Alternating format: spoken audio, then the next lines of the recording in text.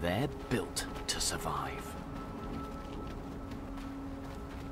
But just one adult would feed the entire pack.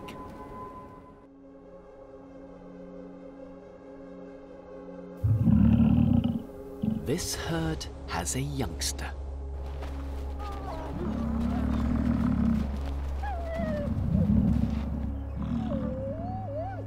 But is protected behind a united front.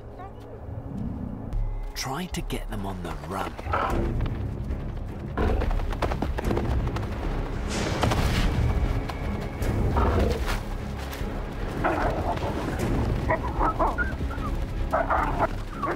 The mother won't leave her calf, but her instincts work against her.